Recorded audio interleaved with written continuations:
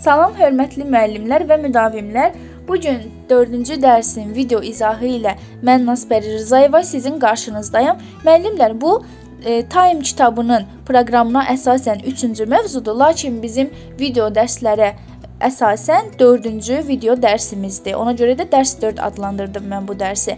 Bu dərsdə biz kurikuluma aid olan terminlərlə tanış olacağıq. Mən çalışacağam ki, bu terminləri sizin üçün ən sadə formada, ən anlaşıqlı formada təqdim edim ki, siz də daha düzgün, doğru şəkildə e, başa düşüb yadınızda saxlaya biləsiniz.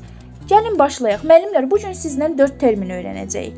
Ümumi təlim nəticələri, məzmun xətti, əsas standart, alt standart. İndi deyəcəksiniz ki, bu necə mövzudur? Müəllim bura ağac şəkli qoyub, meyvələr qoyub. İndi mən bunları sizə izah edəcəm. İlk öncə gəlin bunların ayrı-ayrı təriflərinə baxaq. Ümumi təlim nəticələri mənimsənilməsi nəzərdə tutulan və əvvəlcədən müəyyənləşdirilmiş təlim nailiyyətlərinin konkret bir səviyyəsidir. Müəllimlər, ümumi təlim nəticələrinin tərifində əvvəlcədən sözü bizim E, orada öncədən də ola bilər. Əvvəlcədən, öncədən sözü bizim olur açar sözümüz. Bu qırmızı ilə verdiyim açar sözüdür. Məzmun xətti. Məzmun xəttinin tərifində fənn üzrə ümumi təlim nəticələrinin reallaşmasını təmin etmək üçün müəyyən olunmuş məzmunun zəruri hissəsidir yazılıb. Əsas standartda məzmun xətti üzrə fənnin təlim nəticələrini ümumi şəkildə ifadə edir. Alt standartda da yazılıb ki, Əsas standartdakı təlim məqsədlərinin dəqiq müəyyən olunması üçün zəmin yaradır. Baxın, 4-ü də alt-altadır. Qırmızı sözlərə diqqət. Məzmun xəttinin içində ümumi təlim nəticələrinin adı keçir, yəni özündən yuxarıdakının. Əsas standartın tərifində məzmun xəttinin adı keçir, yəni özündən yuxarıda duranın. Alt standartında tərifində əsas standart sözü keçir, yəni özündən yuxarıda duranı. Bu o deməkdir ki, bu 4 termin bir-biri ilə sıx bağlıdır və bir-birini izah edir ardarda e, alt-alta yerləşməklə. İndi bu ağac nə məsələdir? Müəllimlər, məzmun xətti O deməkdir ki, e, zəruri hissə, leytmotiv, əsas hissə, bünövrə. Leytmotiv bilirsiniz nə deməliyimlər? Bir əsərin leytmotivi deyəndə o əsas e, o əsərin canı, məğzi başa düşülür. Yəni bünövrə, əsas hissə deməkdir. Ağacın da bünövrəsi nədir? Ağacın bünövrəsi onun kök sistemidir. Əsas standart. Əsas standartda məzmun xəttindən çıxır. Yəni ağacın kökündən çıxır məzmun xəttini ifadə etmiş olur. Ağacın da kökündən baxın şəklə budaqlar çıxır. Sonra alt standart da əsas standartdan əmələ gəlir. Yəni budaqlardan da meyvələr əmələ gəlmiş olur. Mən bunu nə üçün bu şəkildə izah etmişəm? Bunu bir neçə müəllim də öz dərslərində bu formada izah ediblər və düşünürəm ki, çox e, sadə, primitiv və çox e, gözəl bir üsuldur. Ona görə də mən bunu e, gətirib öz videomda tətbiq etdim. Deməli müəllimlər, məzmun xətti bir rəqəmlə ifadə olunur. Məzmun xətti bizim nəyimiz idi? Kök sistemimiz. Bircə dənə kök sistemi görürük şəkildə. Bir rəqəmə aid məzmun xəttinə bu şəkildə neçə budaq görürük? 2 budaq görürük. Budaq nə idi? Əsas standart. Deməli, 2 rəqəmi ilə əsas standart ifadə olunur. Bu şəkildə neçə meyvə görürük? 3 meyvə görürük. Meyvə nə idi? Alt standart idi. Deməli, alt standart 3 rəqəm ilə ifadə olunur. Və müəllimlər, sizə belə bir sual verim. Biz ağacın kökünə baxanda Bilirikmi o nə ağacıdır? Yaxud ağacın budaqlarına baxanda biz başa düşürükmü bu hansı ağacdır? Amma biz ağacın meyvəsini görəndə deyirik ki, aha, deməli bu alma ağacı imiş. Deməli bizə ən çox informasiya verən, ən dolğun, ən düzgün şəkildə informasiya verən oldu ağacın meyvələri. Ağacın meyvəsi nədir? Alt standart.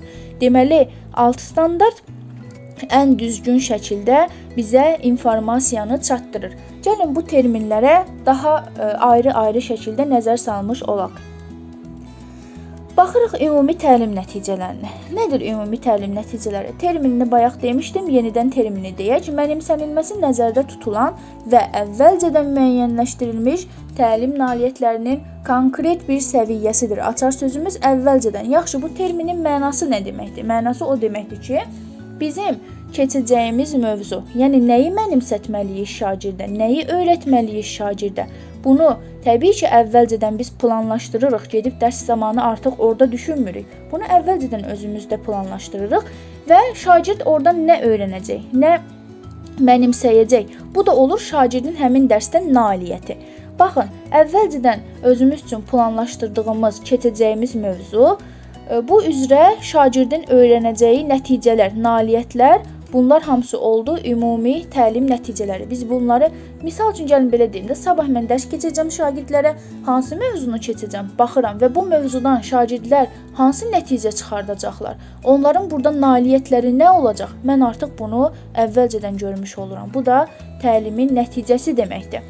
Və müəllimlər bu ümumi təlim nəticələri həm ümumi təhsil pilləsinin dövlət standartları və proqramları sənədində Bunun başqa adı da kurikulumlardır.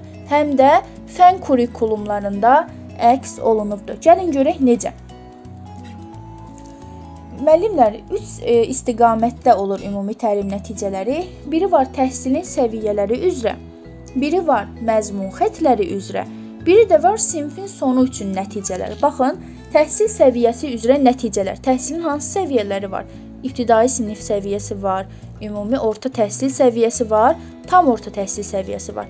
Əgər ibtidai sinif üzrə nəticələr görürüksə, deməli bu təhsil səviyyələri üzrə nəticələrdir. Məsəl üçün şagirdin 1-ci sinifdən 4-cü sinifə qədər 4-cü sinifdə daxil olmaqla sonda hansı nailiyyətləri əldə edibsə, bu olur ibtidai sinif səviyyəsi üzrə, yəni təhsil səviyyələri üzrə təlim nəticəsi. Bəs məzmun xəttləri nədir? Hər bir fənnin özünün məzmun xəttləri var. Misal üçün texnologiya fənninin 4 məzmun xətti var. Bunlar hansılardır? Emal texnologiyalarıdır. Sonra e, deməli gəlir e, texnika elementləri, qrafika və məişət mədəniyyəti. Daha doğrusu məişət mədəniyyəti, sonra isə qrafika. Bu texnologiyanın e, məzmun xəttləridir. Həmçinin də hər bir fənnin məzmun xəttləri var və hər bir müəllim də öz ixtisasının, öz fənninin məzmun xəttlərini əzbər bilməlidir. Bu məzmun xəttləri üzrə, misal üçün, emal texnologiyaları üzrə şagird sonda hansı nailiyyətləri əldə etsə, bu məzmun xəttləri üzrə təlim nəticələridir. Bəs sinfin sonu üçün təlim nəticələri nədir? Birinci sinfin sonunda şagirdin əldə etdiyi nailiyyətlər sinfin sonu üçün olan təlim nəticələridir. Həmçinin də 10-cu, 11-ci sinfin sonu üçün olan nəticələr O da sinfin sonu üçün təlim nəticələridir. Məncə burada qaranlıq qalan bir şey olmaz sizin üçün.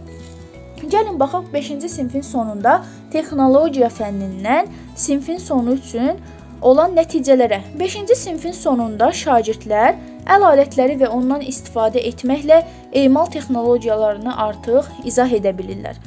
Sonra e, sadə elektrik dövrəsini artıq qura bilirlər. Yaşayış yerlərində sadə təmir işlərini yerinə yetirə bilirlər.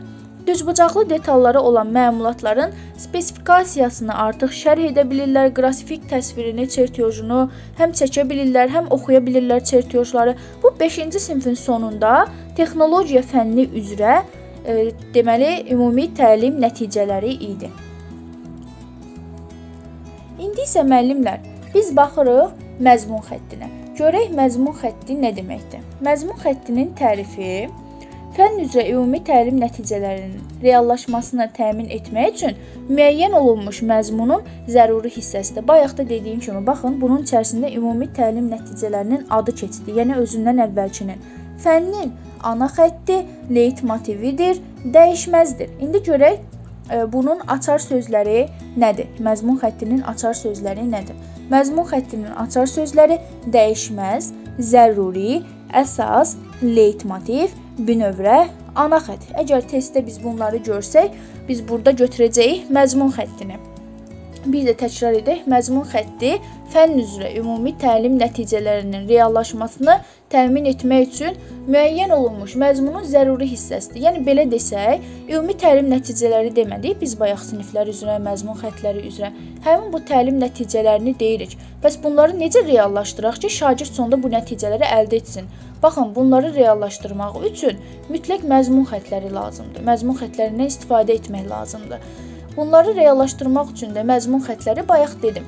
Məsəl üçün texnologiya fənninin 4 məzmun xətti var. Həmçinin Azərbaycan dili fənninin 4 məzmun xətti var. Və hər bir e, fənnin şagirddə formalaşdıra biləcəyi bacarıqlar burada özünü tapmış olur. Fənnin ana xəttidir, leytmotividir və məzmun xətti dəyişməzdir. Necə dəyişməzdir? Məsəl üçün texnologiyanın bayaq məzmun xəttlərini sadaladım. Bu 4 məzmun xətti 1-ci sinif texnologiya fənnində də eynidir.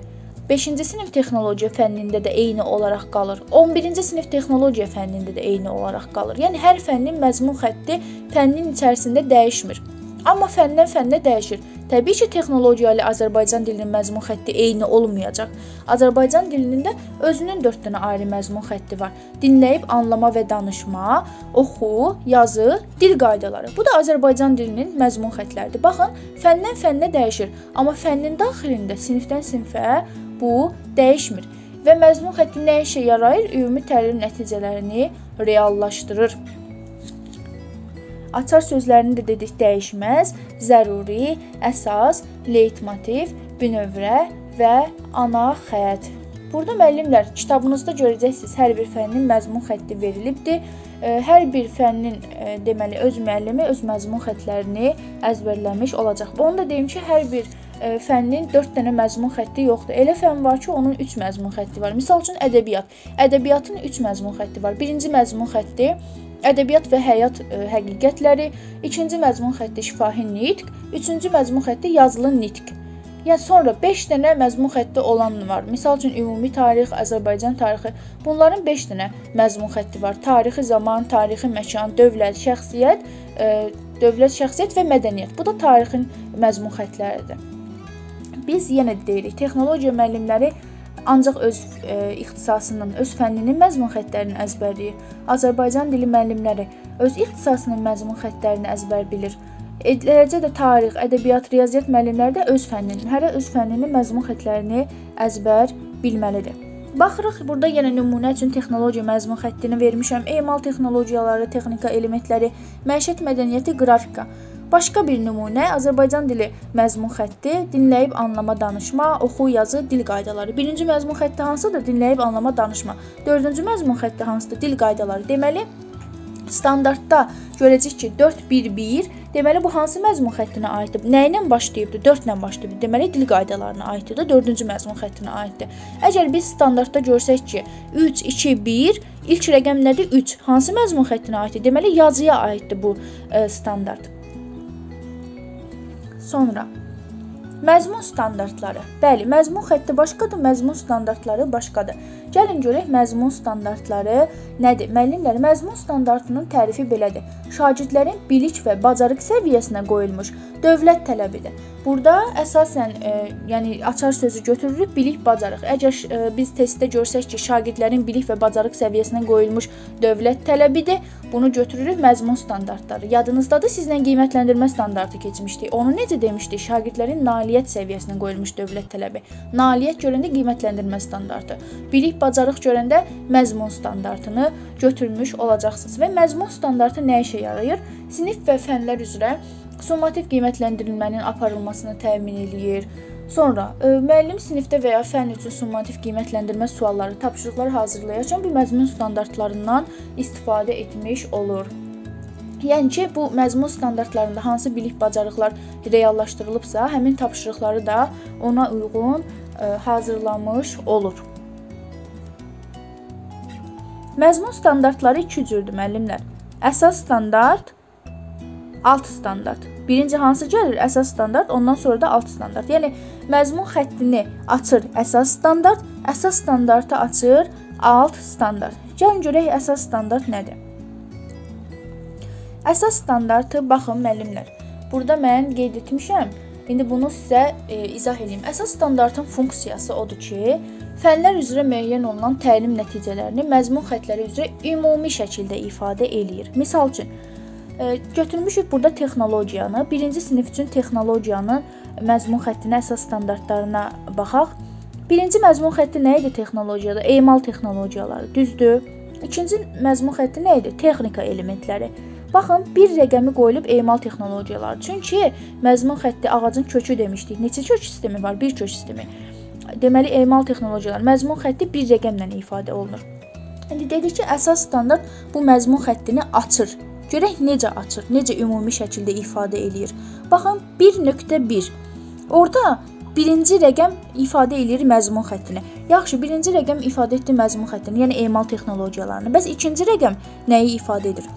İkinci rəqəmdə e, həmin birinci məzmun xəttinin birinci əsas standartı deməkdir. Baxın 1-2 birinci məzmun xəttinin, yəni emal texnologiyalarının ikinci əsas standartı deməkdir. 1-3 birinci məzmun xəttinin üçüncü əsas standartı deməkdir. Baxaq emal texnologiyalarının bu birinci sinif üçündür. Emal texnologiyalarının birinci əsas standartını, emal texnologiyalarını və vasitələrini tanıyıb anladığını nümayiş etdirir. Birinci məzmun xəttinin ikinci standartı da budur. 1-2. Emal prosesinə hazırlıq işlərini yerinə yetirir. Baxın, birinci sadədən mürəkkəbə, asandan çətinə gedir. Çünki birinci tanıdı, anladı, ikinci uca hazırlıq işlərini yerinə yetirdi. 1-3, yəni üçüncü əsas standartda görün nə deyir? Get-gedə çətinləşir. Verilmiş materiallardan müxtəlif məlumatlar hazırlayır. Birinci tanıdı. Sonra uca hazırlaşdı onu yerinə yetirməyə. 1-3-də isə artıq məmulat hazırladı, çıxartdı ortaya. Bu birinci sinif üçündür. Birinci sinif üçün baxaq ikinci məzmun xəttinə. Dedik ki, e, fərqi yoxdur siniflərin. Ümumiyyətlə 1-dən 11-ə texnologiya fənnində 11-də texnologiya yoxdur, üzr istəyirəm. 1-dən 9-a e, deməli texnologiya fənnində bu məzmun xəttləri dəyişməzdir. Elə 4 dənə məzmun xətti var. Hamısında birinci məzmun xətti emal texnologiyalarıdır, hamısında ikinci məzmun xətti texnika elementləridir. Çünki məzmun xətti fənn daxilində dəyişməzdir. Dəyişməzdir. Bunu bilirik. Sonra Birinci sinif üçün, ikinci məzmun xətti texnika elementləri dedik. Baxaq texnika elementlərinin əsas standartı hansıdır? 2-1. Aha, bayaq 1-1 idi. Çünki birinci məzmun xəttinə aid idi. İndi 2-1-dir. Çünki ikinci məzmun xəttinə, texnika elementlərinə aiddir. Bəs 3-1 olsa necə olacaq? Üçüncü məzmun xəttinə aid olmuş olacaq. Yəni məişət mədəniyyətinə. 4-1 olsa, dördüncü məzmun xəttinə, yəni qrafikaya aid olmuş olacaq. Baxaq texnoloji maşınlar və texnoloji vasitələr haqqında təsəvvürə malik olduğunu nümayiş etdirir. Müəllimlər, məzmun xəttin bildik ki, 1-ci sinifdə də eynidir, 5-ci sinifdə də eynidir. Bəs əsas standart necə? Dəyişirmi, yoxsa dəyişmirmi? Baxın, 1-ci sinif üçün 2-1 texnoloji maşınlar və texnoloji vasitələr haqqında təsəvvürə malik olduğunu nümayiş etdirir. Amma 5-ci sinif üçün 2-1 texnoloji maşın, cihaz və vasitələrdən istifadə bacarıqları nümayiş etdirir. Baxın, tam dəyişməyibdi. Əsasən dəyişibdi. Necə dəyişibdi? Daha da genişləndirilibdi. 1-ci sinif üçün daha az, e, yəni e, bilirdisə, artıq 5-ci sinifdə təbii ki, 5 il sonra artıq 5 sinif böyüyübdü bu. Burada texnoloji maşından, vasitədən başqa artıq cihazlardan da bacarıq nümayiş etdirir. Baxın, 1-ci sinifdə onun haqqında anlayışa malik idi, yəni bilirdi haqqında. Amma 5-ci sinifdə isə artıq onun üzərində işləyir, ondan istifadə edir, bacarıqlar nümayiş etdirir. Yəni buna görə əsas standart sinifdən sinifə keçdikcə keçdikcə əsasən dəyişir. Necə dəyişir? Yəni genişləndirilir, daha da mürəkkəbləşdirilir. Bu şəkildə deyirik ki, əsas standart əsasən dəyişir. Əsas, əsas, ən bunu bu cür yadınızda saxlayın. Məncə bu da aydın oldu sizin üçün. Gəlin baxaq əsas standartın funksiyalarına. Əsas standart fənlər üzrə müəyyən olunan təlim nəticələrini məzmun xəttləri üzrə ümumi şəkildə ifadə edir. Bəli, əsas standartdan yuxarıda nə var idi? Məzmun xətti var idi, kök sistemi var idi. Biz də demişdik ki, hərəsi öz üstündə olanın, e, deməli, öz üstündə olanı açır, ifadə eləyir. Bunun da üstündə var idi məzmun xətti və məzmun xəttini ümumi şəkildə ifadə etdi əsas standart. Əsas standart sinif və fənlər üzrə summativ qiymətləndirilmənin aparılmasını təmin edir. Bu bilirsiniz necə baş verir müəllimlər? Texnologiya kitabını açsaz, həmçinin də hərə öz ixtisasına. İndi mənim ixtisasım texnologiyadır. Bu videoya baxan müəllimlərin də əksəriyyəti texnologiya müəllimləridir deyə çalışıram ki, texnologiya fənni üzərində qurum. Amma siz Azərbaycan dil müəllimisinizsə öz məzmun xəttlərinizə uyğun bunu öyrənin. Deməli, e, necə olur? Texnologiyanı misal üçün açsaq mündərcatını görəcəyik ki, orada emal texnologiyaları var. Oduncağın emal texnologiyaları, parçanın emal texnologiyası, sonra metalın emal texnologiyası, qida məhsullarının emal texnologiyası. Bunlar hamısı emal texnologiyaları. Yəni birinci məzmun xəttinə aiddir. Sonra baxırıq texnika elementlərinə aid olanlar. Misal üçün texnika elementlərinə aid olanlar Ütünün iş prinsipi dərsi var, fenin iş prinsipi dərsi var, sanikin iş prinsipi dərsi var, kondisioner paltar yuyan dərsi var. Sonra soba dərsi var, kompüterlər dərsi var. Bunlar da hamısı texnika elementlərinə aiddir. Bəs məişət mədəniyyəti e, hansı aiddir bura məzmun xəttinə? Məişət mədəniyyəti məzmun xəttinə büdcəyə aid olan dərslər var orada. Ünsiyyət e, və davranış qaydaları var. Bu dərslər də sonra tərə, e, şey var orada. Ağacların əkilmə qaydası. Bunlar da məişət mədəniyyəti e, aiddir. Qrafika bəs məzmun xəttinə nələr aiddir? Qrafikada kitabda olan dərslərdən çertyojların e, qurulması dərsi var idi orada sonra orada hansı dərslər, konstruksiyaya aid dərslər. Bunlar da qrafika, məzmun xəttinə aid olan dərslərdir. Yəni ki, bölmələrdir. Bir, bir sözlə götürsək, məzmun xətti sanki kitabın bölmələridir. Birinci bölmədən sonra gəlir ikinci bölmə, texnika elementləri. Texnika elementlərinin bölməsi qutarır, gəlir məişət mədəniyyəti. Bizdə summativləri nə zaman keçirdirik? Düzdür, indi bu il summativlər bir qədər qarışıq oldu. Yəni sonda bir dənə summativ keçirilmiş oldu, amma əyani normal dərslərimizdə Bölmə bitəndə biz həmin bölmə üzrə artıq e, KSG-lər, kiçik summativ qiymətləndirmələr keçirmiş olurduq. Düzdür? Elə bu bölmələr də bizim məzmun xəttlərimizdə müəllimlər. Yəni məzmun xətti e, məzmun xəttlərindən e, belə bölmələr kimi götürsək, ona görə də əsas standartlar summativ qiymətləndirmənin aparılmasını təmin edir. Çünki əsas standart elə məzmun xəttini ifadə edirdi. Sonra əsas standart əsasən dəyişməzdir. Çünki onu bayaq izah etdik nə üçün sinifdən sinifə genişləndirilir deyə. Əsas standart 2 rəqəmlə ifadə olunur. Bəli, bayaq gördük ki, e, və 2 budaq demişdim sizə, 2 rəqəmlə ifadə olunur. Burada da əsas standartın açar sözlərini vermişəm. Ümumi, yəni ümumi ifadə edir. Summativ, summativlərin keçirilməsi, e, əsasən dəyişməz 2 rəqəm. İndi isə müəllimlər biz sizinlə baxaq görək alt standart bəs nədir? Alt standart müəllimlər əsas standartda olan fikri daha düzgün, daha dəqiq, daha lakonik şəkildə ifadə edir. Məsəl üçün əsas standart dedik ki, ümumi şəkildə ifadə edir. Alt standart da həmin fikri daha çox dəqiqləşdirir. Meyvələri yadınıza salın. Meyvələr bizə daha yaxşı informasiya verirdi. Biz baxdıq ki, bu meyvə almadırsa, deməli ağac alma ağacıdır. Burada da həmçinin alt standartda meyvələrimiz olduğuna görə burada daha dəqiq e, müəyyən edə bilirik məqsədləri. Baxaq burada nə verilib? 1 2 Bu əsas standart. Artıq biz 2 rəqəm görəndə bilirik ki, bu bizim əsas standartımızdır. Hansı məzmun xəttinin əsas standartıdır? Hansı rəqəmdən başlayıb? 1 ilə başlayıbsa, deməli birinci məzmun xəttinin, yəni emal texnologiyalarının əsas standartıdır. Oxuyaq. Emal prosesinə hazırlıq işlərini yerinə yetirir. Bu bizim birinci məzmun xəttimizin ikinci əsas standartıdır. Çünki bir rəqəmdən sonra 2 rəqəm gəlib. Bizə dedik ki, birdən sonra gələn ikinci rəqəm əsas standartın nömrəsidir. Yəni birinci məzmun xəttinin ikinci əsas standartıdır. İndi bu əsas standartında özünün alt standartları verilibdi. Baxın, hamısı 1-2, 1-2, 1-2 ilə başlayıbdı. Çünki 1-2, yəni həmin bu əsas standartın alt standartıdır bunlar. 1-2-1 Yəni bu əsas standartın birinci alt standartı.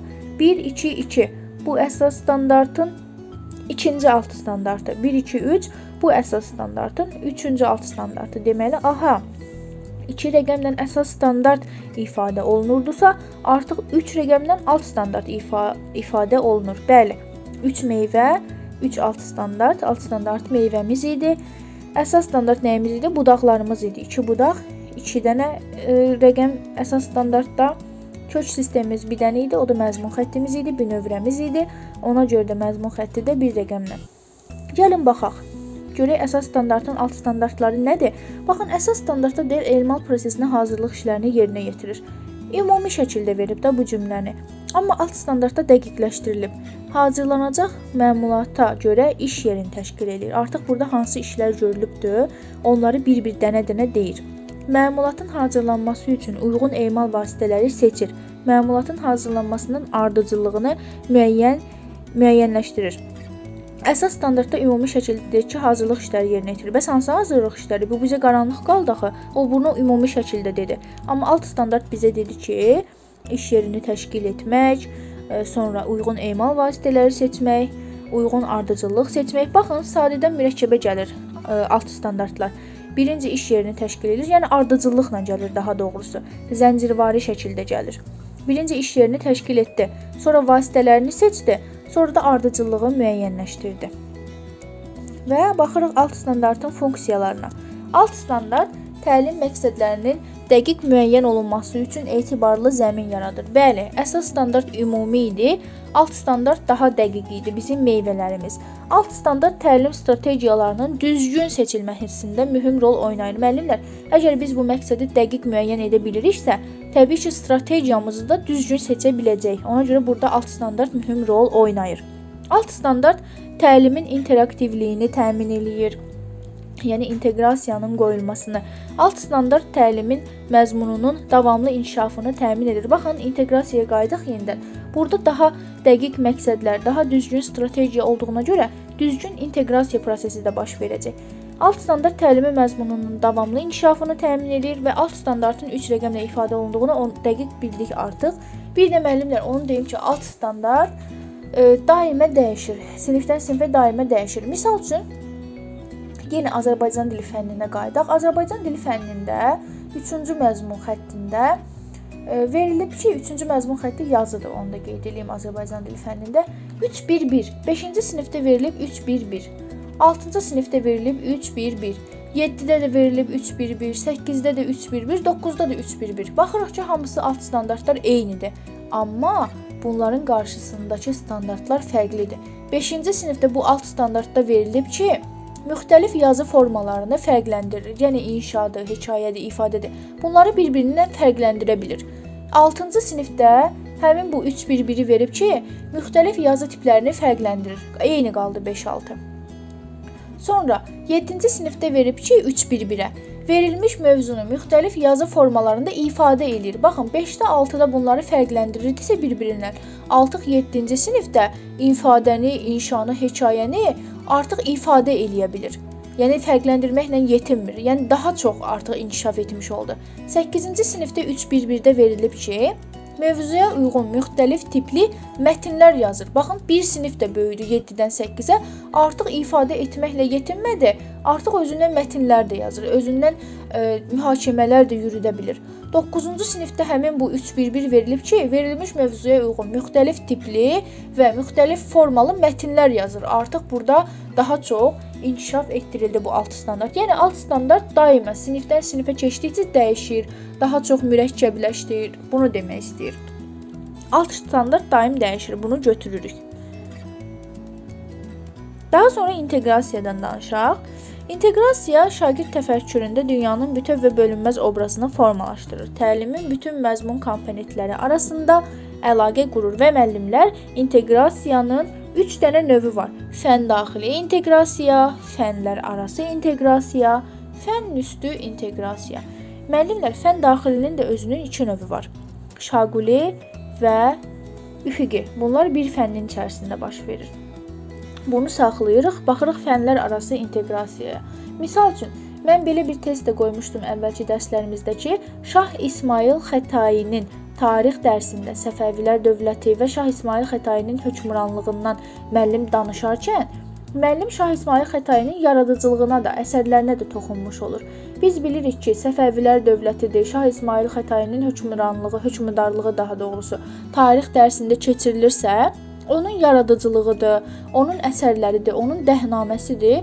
Bunlar ədəbiyyat dərsində keçirilir, ədəbiyyat fənnində keçirilir. Deməli bu müəllim bu məqamlara toxunaraq tarix fənni ilə ədəbiyyat fənninin arasında inteqrasiya yaratmış oldu. Baxın, tarix, ədəbiyyat ayrı-ayrı fənlərdir deyə bu oldu hansı inteqrasiya? Fənlərin arasında, fənlər arası inteqrasiya. Müəllimlər, fənn üstü inteqrasiya isə həyatla əlaqə deməkdir. Necə baş verir? Yəni bu şagirdin öyrənməsinin həyatla əlaqələndirilməsidir. Deyir ki, öyrənmə yalnız məktəbdə formalaşan bir hal deyil. Hər an, hər yerdə baş verə bilər və şagird də buna hazır olmalıdır.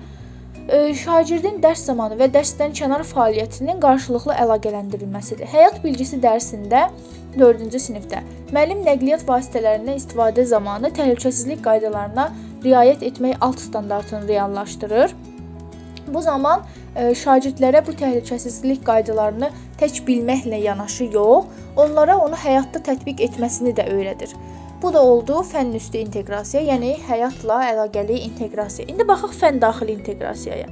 Fənn daxili inteqrasiya dedik ki, həm şaqili olur, yəni siniflər arasında, həm üfüqi olur, siniflər daxilində. Baxın, şaquli bir nərdivan vermişəm burada. 11 pilləli, yəni 11 sinif. Bu siniflərin arasında baş verən inteqrasiya. Üfüqi də bir sinif daxilində üfüqi şəkildə yerləşən partaları qoymuşam mən burada. Bu da bir sinif daxilindəki partaları bu cür üfüqi şəkildə nəzərinizdə saxlayıb sinif daxili inteqrasiyanı daha yaxşı yadınızda saxlaya bilərsiniz. Baxın 1 ilə 2, 3 ilə 4, 5, 6 bunların arasında baş verən inteqrasiyalar da siniflər arası inteqrasiyalardır. Necə baş verir siniflər arası inteqrasiya? Gəlin belə bir misal çəkək. Misal üçün müəllim deməli Azərbaycan dili fənnindən 5-ci sinifdə nitq hissələrini keçib şagirdlərə. Nitq hissələrinin əsas nitq hissələri, köməkçi nitq hissələrə bölündüyünü keçib. Artıq bir neçə sinif yuxarıda müəllim hər bir nitq hissəsinin ayrı-ayrılıqda xüsusiyyətlərini şagirdlərə keçmiş olur. Məsəl üçün ismi ayrılıqda keçir, ismin mənsubiyyətə görə dəyişməsini, ə, ismin hallandırılmasını, ismin və s. də, yəni bunu bütün nitq hissələrini, bütün nitq hissələrini daha ə, aydın şəkildə, açıq şəkildə ayrı-ayrılıqda xüsusiyyətlərini keçir və şagirdlərə bundan bir neçə sinif aşağıda e, deyir ki, yəni siz keçmisiniz, keçmişdiniz də hansılar idi nitq hissələrinin əsas nitq hissələri hansılar idi, əlavə nitq hissələri, köməkçi nitq hissələri hansılar idi? Baxın, fənn dəyişmədi. Ədəbiyyat olmadı, fizika olmadı, ancaq Azərbaycan dili fənni oldu. Amma 5-ci sinifə inteqrasiya etdi müəllim, 6-cı, 7-ci sinifdə dərs keçərkən Deməli sinifin arasında, amma fənnin daxilində, bir fənnin daxilində, ancaq Azərbaycan dil fənninin daxilində baş verən inteqrasiya oldu şaquli. Yəni pillələri yadınızda saxlayın. 1-ci sinifdən 11-ci sinifə qədər olan pillələri 11 pilləli pilləkən oldu şaquli inteqrasiya. Bəs sinif daxilində üfüqi inteqrasiya necə baş verir? Müəyyən bir sinifdə fənnin müxtəlif məzmun xəttləri arasında əlaqə yaratmaqla baş verir. Misal üçün Azərbaycan dili fənnində məzmun xəttlərini bayaq sizə dedim. Yazı məzmun xətti var idi, dil qaydaları var idi. Müəllim bu ikisi arasında əlaqə yaradır. Necə baş verir? Misal üçün müəllim yazı ə, e, deməli məzmun xətti üzrə belə bir ə, e, standart reallaşdırır. Verilmiş mövzunun müxtəlif yazı formalarında, inşa formasında, hekayə formasında şagird ifadə eləyir. Düzdür? Burada hansı məzmun xəttidir? Yazı məzmun xəttidir. Müəllim bunu reallaşdırarkən 4-cü məzmun xəttinə, dil qaydalarına da müraciət etmiş olur. Yəni köməkçi nitq hissələrinin işlənmə məqamından asılı olaraq durğu işarələrindən istifadə etmək buna da e, müraciət etmiş olur. Təbii ki, o inşanı, o hekayəni yazarkən şagird orada durğu işarələrindən də doğru düzgün şəkildə istifadə etmək etmiş olmalıdır, etməlidir, yəni. Bu durğu işarələri 4-1-3, yəni 4-cü məzmun xətti dil qaydalarına aid olandır. Amma bunun e, yazı formalarından istifadə etməsi 3-cü məzmun xətti yazı məzmun xəttidir. Bu məzmun xəttləri arasında gördünüzmü inteqrasiyanı? Yazı ilə dil, dil qaydaları arasında Azərbaycan dili fənnində artıq bir inteqrasiya baş vermiş oldu. Deməli, üfüqi inteqrasiya eyni sinfin daxilində, eyni fənnin içərisində amma ki, məzmun xəttlərinin, yəni bölmələrin arasında inteqrasiya yaratmaqla baş verdi. Dərsimiz bu qədər müəllimlər. Sona qədər izlədiyiniz üçün hər birinizə təşəkkürümü bildirirəm. Mən yenə də çalışdım ki, e, burada e, bu mövzunu sizin üçün daha sadə, daha anlaşılır şəkildə ifadə etməyə çalışım. Əgər həqiqətən də bu mövzunu artıq e, özünüzü başa düşmüş kimi hiss etdinizsə, necə deyim, daha sadə dildə sizə gəldisə, daha yaxşı başa düşdünüzsə, o zaman bəyənmə düyməsinə basıb videolarımızın daha çox gəlməsinə dəstək ola bilərsiniz və kommentlərdə öz fikirlərinizi bölüşə bilərsiniz. Həmçinin də bu videonun digər müəllimlərin qarşısına çıxmasına da yardımçı olmuş olacaqsınız. Müəllimlə, yəni mənimlə əlaqə saxlamaq üçün burada əlaqə nömrəmi qeyd edirəm. Dərslərimizə də qoşula bilərsiniz. Ödənişsiz dərslərimizdə də artıq bir xeyli müəllimlər bu dərslərdən yararlanır, istifadə edirlər. Həmin dərslərə də qoşula bilərsiniz və mənimlə fərdi şəkildə də dərs keçirə bilərsiniz. Sağ olun, inşallah növbəti dərslərimizdə görüşənə qədər.